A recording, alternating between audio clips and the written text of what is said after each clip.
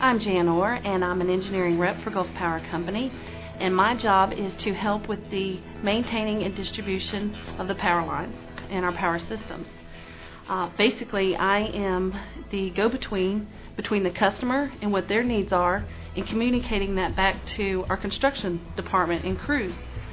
Um, I get to use the technical side with AutoCAD, with actually drawing out where our facilities will be located, and um, the crews use that information to go out and build it.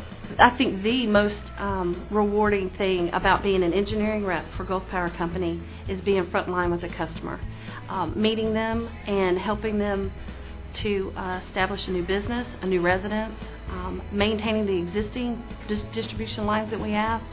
Uh, it's just something different every day.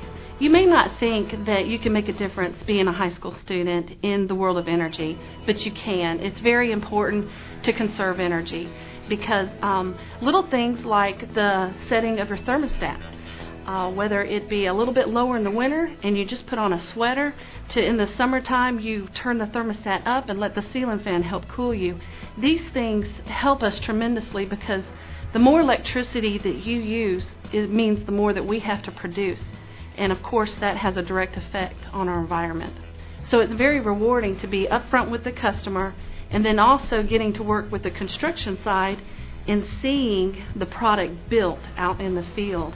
And it's very rewarding once um, our infrastructure is in place and then you see commercial businesses, residents, whatever it might be, um, in place and know that you had a part of that.